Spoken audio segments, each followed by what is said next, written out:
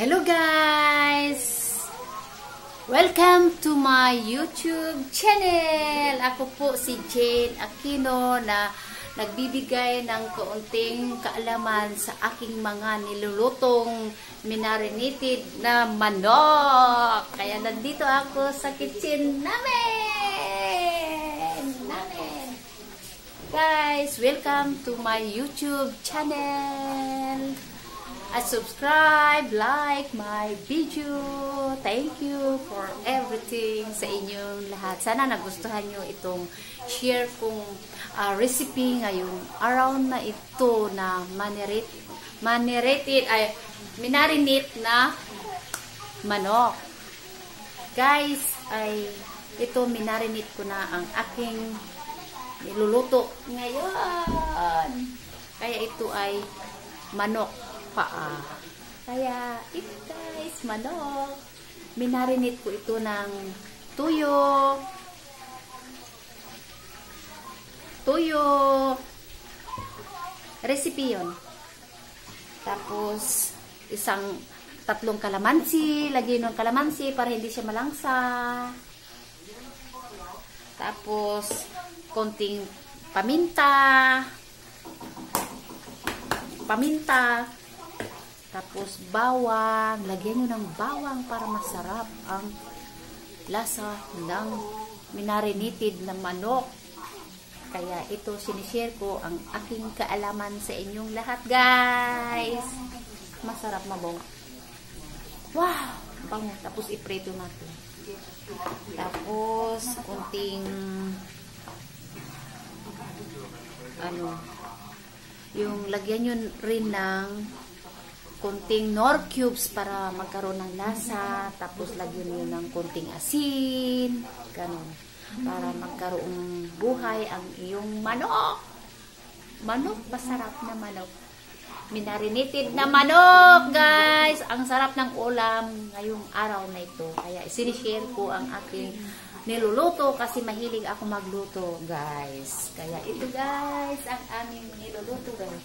Kaya magpainit kayo ng mantika, tapos doon sa inyong lutuan, tapos ipainitin nyo yung mantika na mga mainit na mainit talaga. Tapos ilagay nyo itong manok na ito na naibabad na ng buong magdamag ito ibababad nyo kasi mas uh, kakapit yung lasa ng yung nilulutong manok. Sarap. Kaya kunting sinishare ko ang aking niluluto kasi kakain mamaya yung mga anak ko kasi natutulog pa sa taas.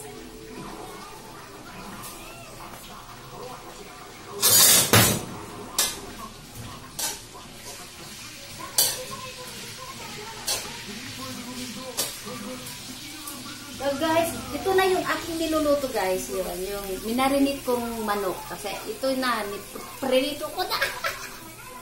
Ang sarap.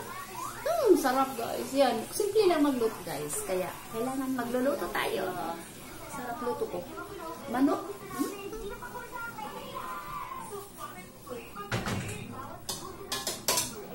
Pag nagluluto kayo ng minarinate na manok, ay kunti lang yung iyong ano, yung yung apoy kasi para hindi siya mabigla maluto para yung pag habang niluluto ay yung uh, hindi siya nabibigla kaya naluluto talaga ng ano mabuti. Kaya niluluto ko konting apoy lang.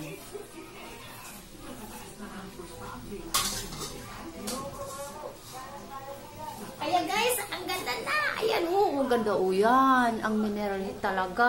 Ang sarap. Talaga bango kasi may sekreto ako nito kasi maraming bawang. Thank you guys sa panunod dito.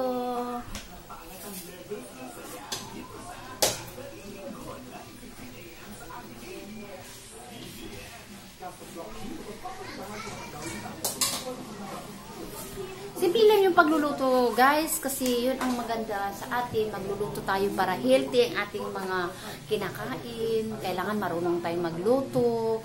Kailangan uh, gumawa tayo ng um, recipe na maganda para sa ating pamilya, para masaya ang buong pamilya. Kasi ang importante kasi ay ang pagluluto ay yung pamilya ay magiging masaya kasi kung may pagkain sa lamisa ay masaya ang buong pamilya wala kang iniisip kailangan uh, pag kumain ka ay nandiyan pag nagugutom ka sa lamis na, pag nagugutom tayo ay may pagkain na sa mga lamisa na nakaprepare, nakaprepare na. Kaya yan ang importante sa ating buhay.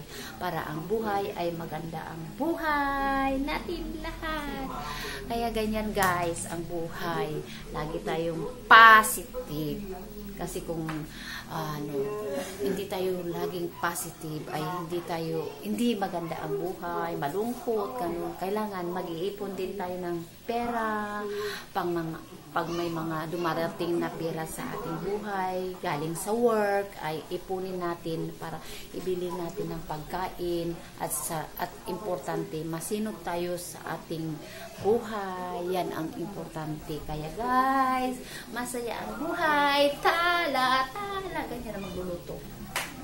Kaya ito, pag, pag may sobra, ilagay nyo sa rep ito. Kasi another, sa isang araw, pwede rin ninyong lutuin din para pang emergency kung may uh, pagkain kayo kasi mas importante kasi may marami kayong pagkain na ginagawa at nilagalagay sa rep. Kasi kung gusto nyo kumain, naka-prepare na, kukuha na lang kayo doon sa rep. Kasi mas okay yung nagtitimpla kaysa bumibili na na natimpla sa supermarket, guys. Kaya mas okay yung kayo ang gumagawa. Kaya nakikita yung malinis ang inyong mga ginagawa na pagkain. Kasi dyan nagsisimula ang sakit sa pagkain. Kung hindi malinis ang pagkain, nandyan yung mga bakterya, nandyan yung mga virus, Ayan, yan, iingatan natin. Kailangan malinis tayo sa ating mga uh, sarili, mga paligid. Kaya uso ngayon ang coronavirus. Kailangan yung mga kinakain natin,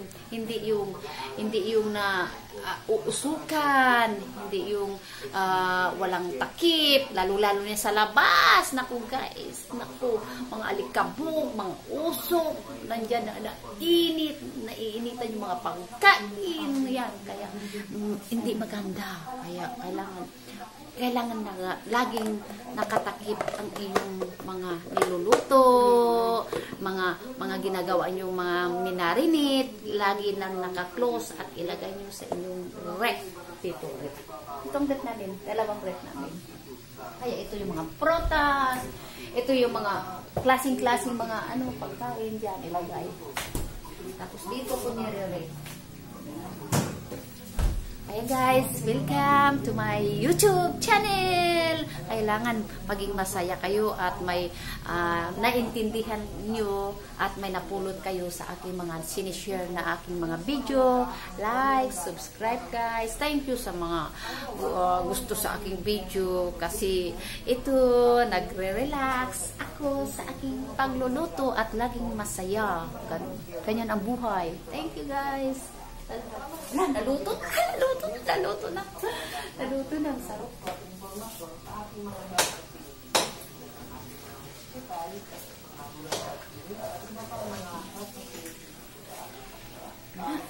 Ay, luluto na. Ganyan guys, pag nagluto kayo, kailangan medyo ma, ma ano yung medyo toasted yung inyong niluluto kasi para masarap yung inyong uh, pagkain na kakainin. Kaya ito guys, subscribe, like my Ang ganda na oh. Yan, ganda. Focus tayo.